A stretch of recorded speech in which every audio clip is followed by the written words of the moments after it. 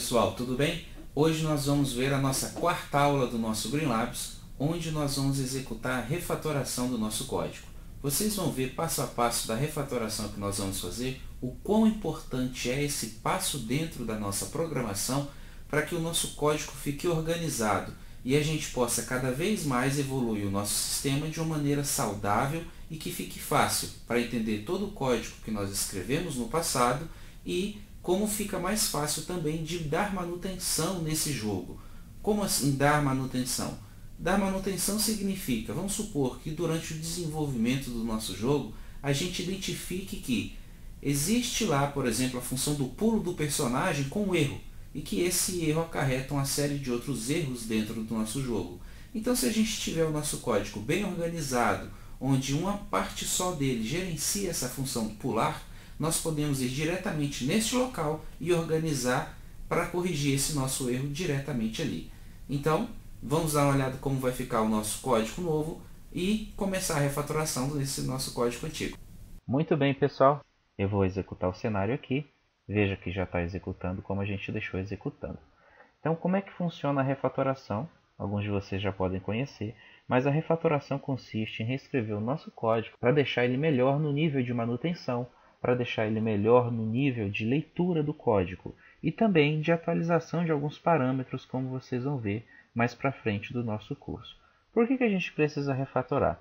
A gente precisa refatorar para o nosso trabalho continuar organizado e a gente não se perder no meio do caminho enquanto a gente está criando a solução para os problemas que vão acontecendo porventura dentro do nosso jogo.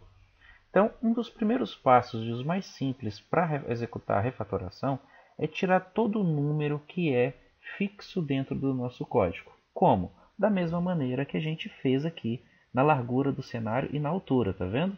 Então, ao invés de usar agora valores fixos dentro do nosso código, a gente passa a utilizar essas constantes para trabalhar. Então, por exemplo, tudo que a gente tem aqui está dentro do método act nesse momento. O método act é o método principal dentro do framework do Greenfoot então a gente não pode se dar o luxo de deixar tanto código aqui misturado com tanta responsabilidade junto. A gente tem que separar cada responsabilidade desse trecho dentro de um método específico, para que quando a gente tem um problema, por exemplo, no carregamento da imagem, ao invés da gente ler todo o código para encontrar onde é que a imagem é carregada, a gente apenas vai naquele método específico para carregamento de imagem e realiza ali a manutenção que a gente precisa fazer, certo? Então, como eu falei para vocês, o primeiro passo vai ser substituir esses valores fixos aqui que estão dentro do nosso código. E veja também que são valores repetidos. Qual que é outro problema da gente trabalhar com esses números aqui? O problema é, suponha que esse número aqui deixe de ser 350 e passe para ser 250. Só que veja que aqui embaixo esse número não foi atualizado, a gente esqueceu, passou batido, o código era grande, estava com pressa. Então esse é mais um motivo para que a gente utilize constante. Nesse caso aqui do 350, a gente está trabalhando com a quantidade de códigos, é um número inteiro. Então como é que a gente resolve esse problema? Bem fácil. A gente vem aqui, cria outra constante, eu vou copiar e vou colar aqui, ó. E o nome dessa constante vai ser quantidade de quadros. Então vamos lá. A gente tem aqui quantidade de quadros e o valor é 350. Como a gente já tem esse valor fixo aqui, então ao invés de utilizar 350 aqui, eu vou substituir pela, a nossa, pela nossa constante, certo? Outro valor que a gente tem fixo aqui. O fixo que a gente tem é a posição do quadro sendo concatenado pelo valor 4. Por que, que a gente colocou 4 aqui na última aula? Porque aqui a gente está atualizando a posição do quadro. Lembra que eu expliquei para vocês que as nossas filetas lá do nosso cenário, quando ele está atualizando, ele é atualizado de 4 em 4 pixels? Pois é. Então se a gente colocou a fileta número 1, que é onde a gente começou a renderizar aqui na posição do quadro, no zero, e a gente colocou mais uma fileta com 4, então a nossa próxima posição para a próxima fileta do cenário é a posição atual mais 4 unidades. Então é por isso que a gente está utilizando 4 e 4, porque esse 4 aqui é o tamanho do nosso quadro. Então vamos lá criar mais uma constante que vai se chamar tamanho do quadro. O tamanho do quadro, como eu falei para vocês, é tamanho 4. Então a gente vai copiar aqui e vai colocar aqui agora o número 4. Então assim agora a nossa posição do quadro vai ser atualizada com o próximo tamanho para caber o próximo quadro lá dentro. Certo, o que mais dá para a gente atualizar aqui que está fixo dentro do código? Olha aqui, ó, mais um valor fixo, tá vendo? O que, que esse valor aqui significa? Esse valor aqui, ó, a gente está criando um novo quadro e está buscando a fileta lá ó, com o valor que tem. Então vai ser a fileta 1, a fileta 2, 3, 4, até a fileta final, que é aqui a quantidade de quadros, o número 350. Por que, que eu não posso deixar isso aqui? Gente, porventura, do mesma maneira que a gente está aqui refatorando esse código, a gente pode precisar reorganizar as imagens dentro do nosso jogo. Se isso acontecer, deve existir uma maneira fácil para a gente indicar para o nosso código o novo local dessas imagens. Então a gente vai rapidamente colocar todos esses valores fixos lá em cima das nossas constantes. Só que agora, ao invés de guardar números, nós vamos guardar string, nós vamos guardar texto. Então a nossa constante vai se chamar, vai ser do tipo string, que hoje nós temos int. Eu vou colocar tipo string, que é onde nós guardamos aqui o valor texto. O nome dessa nossa constante que vai ser nome, arquivo, imagem. Nome, arquivo, imagem. Certinho. Então aqui dentro o que a gente vai colocar é todo esse nome aqui inicial. Eu vou pegar esse nome aqui, vou tirar daqui e vou colocar aqui. Certinho? E agora lá onde a gente tinha aquele texto, eu coloco o nome da constante. Então aqui a gente tem o nome da constante, o quadro, mais o valor PNG, que é a extensão do arquivo, que é o tipo de imagem que a gente está trabalhando. Como é texto, eu também vou colocar isso aqui em outra constante para a gente trabalhar de maneira mais organizada. Então, string, o nome desse daqui vai ser extensão arquivo imagem. Arquivo. Duas coisas que nós temos que saber sobre o nome desses arquivos que eu estou colocando para você. Primeiro de todas, o nome você que escolhe. Esse nome é um nome que eu gosto de trabalhar e um nome que eu vou lembrar dele quando eu estiver trabalhando dentro do meu código. Outra coisa, se vocês perceberam, vocês vão ver ao longo do nosso curso que eu gosto de colocar nomes grandes, né, tanto em variáveis quanto em nome de métodos e também nomes de constantes. Eu faço isso porque eu gosto de deixar o código em um nível de leitura mais humano. Antigamente, na época que eu comecei a trabalhar, e mais antigamente ainda, nós tínhamos dentro da programação uma restrição quanto ao tamanho do nome de variáveis e de métodos e funções daquela época. Mas hoje no Java isso já não é mais verdade. Então eu sei que dá um pouquinho mais de trabalho, mas o nosso código fica melhor de leitura, melhor de se estudar, melhor de entender o que é que está acontecendo. E mais para frente, cada vez melhor vocês vão vendo isso nos nossos próximos exemplos e talvez no final vocês concordem, talvez discordem, mas isso é um hábito que vocês podem desenvolver dentro do seu mundo de programação, tá bom? Então aqui a gente utiliza esses nomes grandes por esse motivo. Então vamos ver o que mais a gente pode atualizar dentro do nosso código aqui. Hum, o valor zero aqui fica mesmo zero posição não, certinho. Então a gente já terminou de refatorar todos os constantes que estavam presas, travadas dentro do nosso código. Então o que, que a gente tem que fazer agora no próximo passo? A gente tem que desinflar o método act, quebrar ele em vários métodos, cada um com sua responsabilidade e cada um dividido de maneira que seja fácil ler e entender o que está acontecendo. Então a primeira coisa que a gente vai fazer aqui, gente, é quebrar o menor nível possível. Então, por exemplo, esse método set background aqui, nova cena, ele está de uma maneira que ele está fazendo o trabalho todo sozinho, é, mas gente, quem lê a primeira vez não está entendendo, não sabe o que, que ele é, sabe que ele está pegando e está setando no background nova cena. Tá? Então, como que a gente melhora isso? Lembra que eu demonstrei para vocês o exemplo do nosso cenário como um projetor? Então, então acho que um método legal para dizer que a gente está projetando essa tela, essa nova cena dentro do nosso jogo, é chamando isso aqui de projetor. Então, por exemplo, o que eu vou fazer aqui para vocês agora é criar um novo método privado, porque ele só vai ser um método utilizado aqui por nós, dentro do nosso jogo. E esse método eu vou chamar de projetor. O tipo dele vai ser void. Então, nesse método projetor, o que, que esse método projetor precisa para trabalhar? Ele vai precisar de uma imagem. O que, que ele vai fazer? Ele vai pegar aqui o set background, que está aqui, e vai ser projetada a tela. Vocês já já vão entender isso aqui.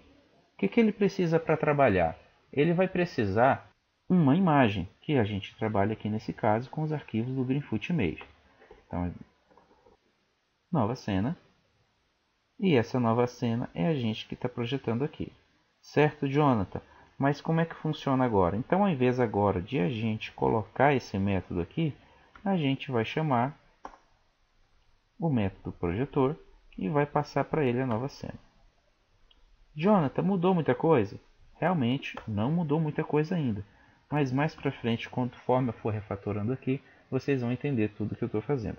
Então vamos dar uma olhada agora e ver como é que ficou o nosso jogo lá, porque a gente já fez diversas atualizações dentro desse código e a gente tem que garantir que ele continua funcionando da mesma maneira. Então, vamos lá agora no Greenfoot, vou minimizar aqui a documentação, vamos reiniciar. Bom, a imagem ainda está sendo pintada, vou dar play vamos ver se vai acontecer algum erro. Não aconteceu erro e ele está funcionando legal. Olha só, vou abrir aqui de novo o mundo Tá? Então, o que, que a gente mudou aqui até agora? Os valores fixos para constante. E a gente colocou o projetor, certo? Então, a gente agora tem que fazer o próximo passo, que é comentar isso aqui que está acontecendo. Certo? Então, esse método aqui solicita que o cenário seja atualizado com a próxima cena. Então, a gente já desinflou um pouco aqui o nosso método. Próximo passo que a gente pode refatorar aqui então vamos lá, vamos entender o pensamento aqui do nosso jogo. Então o que está acontecendo no método ACT? A gente tem aqui a configuração do novo cenário. A gente tem aqui a posição que vai se dar ao início da construção do novo cenário. A gente tem aqui o início do quadro atual, para saber a partir de qual quadro a gente vai começar a construção desse cenário. E depois a gente tem aqui a recursividade, onde a gente vai construindo o novo quadro que vai ser projetado dentro da nova cena, para o nosso jogo ter aquela ideia de movimento. Bom, então a responsabilidade disso tudo aqui é buscar né, a, essas cenas e criar toda a nova imagem que a gente vai colocar dentro do cenário. Então, se a gente parar para pensar, esse método aqui ó, do Greenfoot Image, ele também está poluindo o nosso jogo. Então a gente pode é, vamos dizer assim, terceirizar essa função de buscar esse novo quadro. Como é que a gente vai fazer isso aqui agora? Então a gente vai refatorar esse ponto desse jogo aqui. Como é que a gente vai fazer aqui então? A gente vai terceirizar a forma que nós estamos carregando a nova fileta dentro para a nova cena da tela. Então para isso a gente vai criar um novo método. Então esse método vai ser privado também, porque é de uso apenas dessa classe o tipo de retorno dele que a gente vai devolver vai ser uma nova imagem. Então, o tipo de retorno vai ser Greenfoot Image. E o nome dele vai ser um nome que diz, representa aquilo que a gente está fazendo. Então, nesse caso, o que ele vai retornar para a gente é a imagem do novo quadro. Olha o nome grande aí de novo. Como é que a gente sabe qual imagem que a gente vai ter que retornar? Bom, eu preciso saber qual é o número da fileta que eu vou ter que ir lá na pasta de imagens, buscar e trazer aqui para dentro. Então a gente vai precisar de um número, então é tipo int, e aqui a gente vai precisar do próximo quadro. Certo? Já que é assim, então, como que vai funcionar isso? A gente vem aqui e vai capturar tudo isso que a gente está fazendo, tá legal? Vai capturar aqui e vai retornar essa nova imagem para a gente. Então aqui a gente está retornando né, uma nova imagem input com esse arquivo. Ficou complicado? A gente pode descomplicar isso aqui um pouco, não tem problema. Então, que, que o Greenfoot Image precisa para buscar esse arquivo para gente lá? Ele precisa de, uma, de um nome né, de uma figura para gente. Então a gente pode simplificar isso aqui se você não está entendendo o que a gente fez. Que essa é a maneira de programação que você vai ver mais para frente. Então aqui a gente tem o nome do arquivo. Então, como é que é o nome do arquivo? Bom, o nome do arquivo é composto por isso aqui. Ó. Olha aqui o nome do arquivo. Tá legal? Então, esse aqui é o nome do arquivo. A gente pegou, colocou aqui o caminho da imagem, mais o número do quadro que está vendo aqui, ó. Próximo quadro, tá vendo? E a extensão dessa imagem. Pronto. Então, aqui agora a gente tem tudo concatenado com aqui o símbolo de mais. Então, a gente criou uma string, nome do arquivo. Então, o que, que a gente precisa retornar? A gente precisa retornar é um grifo ultimate, não é?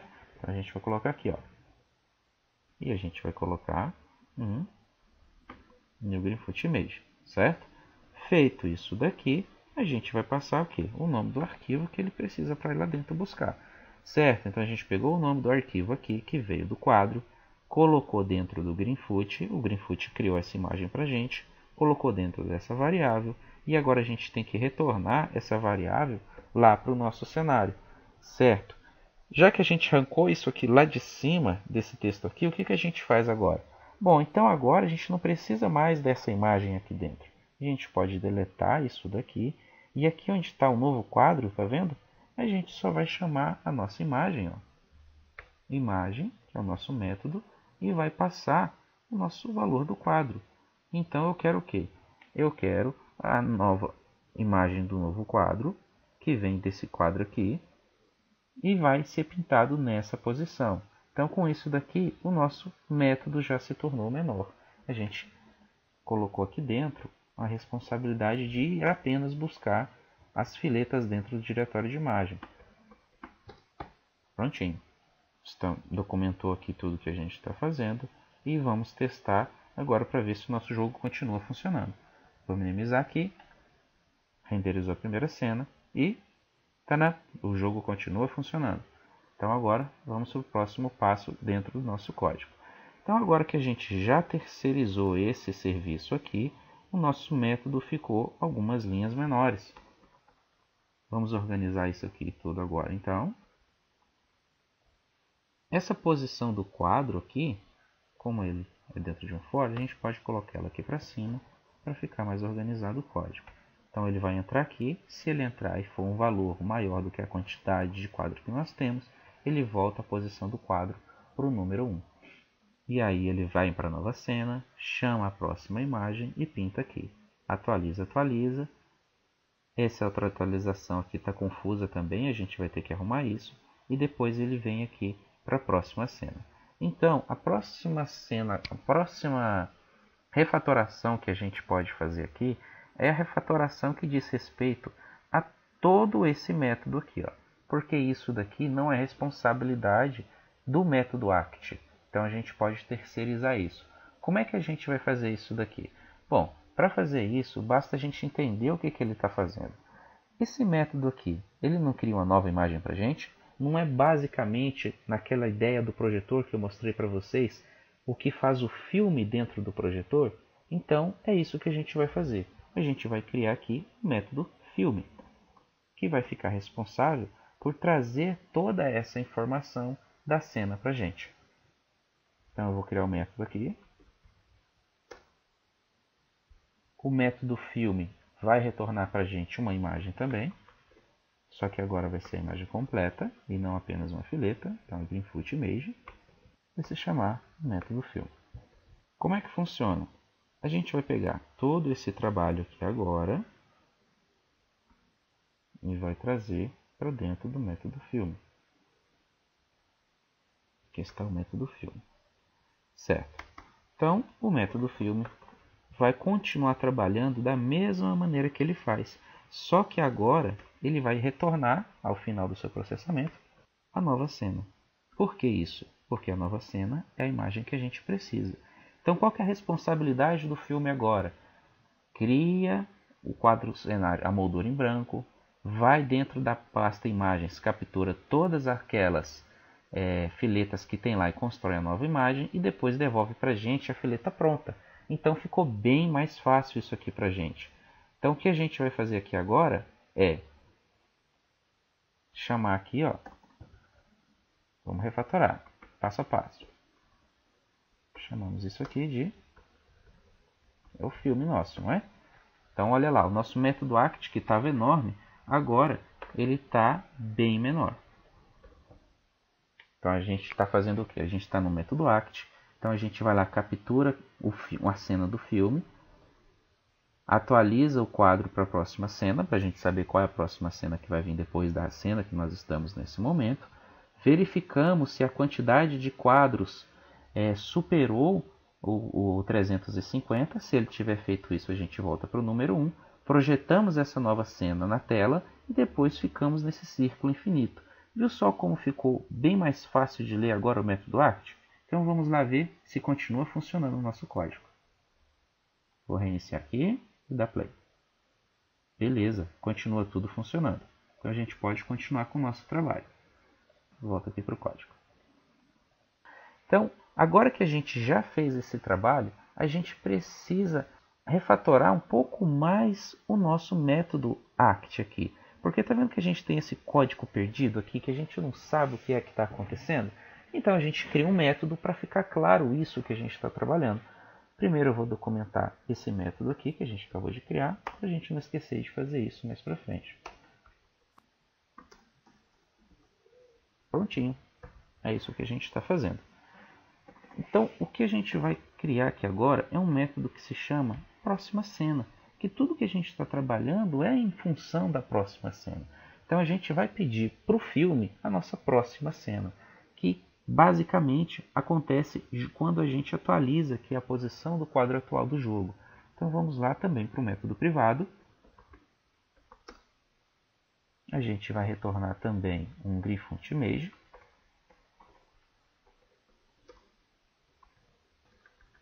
Tem que usar aqui o queima case para ficar fácil de ler. Aqui está. Então, como é que vai funcionar a nossa próxima cena aqui? Vai funcionar com todo esse código aqui que a gente está trabalhando. Então, eu vou copiar todo ele agora. Coloquei ele aqui, ó. Nosso código está bagunçado. Então, eu vou vir aqui em editar, autoindentação, Ctrl Shift I, tá vendo? Pronto, organizou nosso código para gente. Então, esse cara aqui vai retornar essa nova cena. Veja aqui. Legal. Prontinho, pessoal. Então, basicamente, o que a gente está fazendo aqui agora é solicitando a próxima cena, aí a gente cria uma variável, pede para o filme essa próxima cena, o método filme devolve para a gente qual é essa cena, a gente atualiza o cenário do jogo e retorna essa nova cena para quem? Para o projetor. Então, aqui dentro do projetor, a gente vai chamar o nosso método próxima cena. Então, olha só agora a diferença que ficou o nosso método act, que estava cheio de linhas, agora tem apenas uma linha. Então, agora fica fácil de ler. O que, que o nosso método act está fazendo? Bom, tem um projetor que mostra a próxima cena. O que, que a próxima cena faz? Pega a próxima cena do filme, atualiza o quadro do filme que a gente trabalhou e devolve essa cena lá para o projetor. Mas e o filme, o que, que faz? Bom, o filme tem todas as cenas do jogo dentro do jogo e cada vez que a gente pede para ele, ele devolve essa próxima cena para a gente. E o que é que faz o método é, de imagem é, do novo quadro? Bom, esse cara aqui, ele vai lá e pega esse novo quadro para a gente. Bom, Jonathan, Está confuso ainda? Não estou entendendo? Isso aí está mesmo funcionando com uma linha só dentro do método ACT? Tá sim. Vamos dar uma olhada aqui agora. Está aqui o cenário. Vou atualizar. Vou executar o play. E o nosso cenário continua funcionando. Tudo isso que eu expliquei aqui para vocês pode ter ficado um pouco confuso, porque é código, muito código assim. Vocês só vão entender depois que vocês fizerem esse exercício. Mas para facilitar esse entendimento, eu separei aqui algumas imagens para mostrar para vocês. Tá aqui, ó. Como é que funciona isso aqui? Primeiro eu vou mostrar para vocês como acontece o trabalho de atualização dentro do nosso cenário e dentro da nossa classe Mundo 1. A gente tem aqui um projetor, a gente tem aqui o cara do projetor, tá legal? Vamos colocar o personagem. Cada carinha desse vai ser um método. A gente tem o cara da próxima cena, a gente tem o cara do filme e a gente tem o cara do quadro, que são exatamente aqueles métodos que a gente tem dentro do nosso código. E aqui nós temos dentro do nosso sistema do Greenfoot a pasta de imagens. Então como é que funciona? O projetor está em branco, então quando a gente clica no play do Greenfoot, o método projetor solicita a próxima cena. O cara da próxima cena precisa que o filme dê a próxima cena para ele. O cara do filme precisa que o cara do quadro busque os quadros para ele criar a cena do próximo cenário. Então ele pede, o cara entrega para ele, ele vai entregando, vai entregando cada pedaço. Quando ele termina de montar todo esse quadro, ele vai devolvendo esses métodos e até que é projetado, certo? Então isso daqui fica acontecendo constantemente para que seja possível atualizar essa cena. Então é isso aqui que a gente acabou de fazer, separando o nosso código em cada pedaço de método. Fizemos a nossa primeira refatoração. Prontinho. E aí pessoal, gostaram do nosso código refatorado? Viu como ficou bem melhor, mais fácil de entender, mais coeso, cada método com a sua responsabilidade? Agora que o nosso jogo está começando, vocês não vão ver tanta diferença, mas daqui a algumas semanas, quando nós tivermos mais progresso no nosso desenvolvimento, vocês vão ver o quão importante é manter o nosso código organizado. Então não se esqueçam de hoje, baixar os nossos fontes do nosso GitHub, fazer os exercícios e praticar. Se tiverem dúvidas, usem os nossos comentários para pedir por ajuda que nós vamos ajudar vocês no que for possível. Peço a vocês que compartilhem os nossos vídeos e vejo vocês na próxima aula. Tchau, tchau.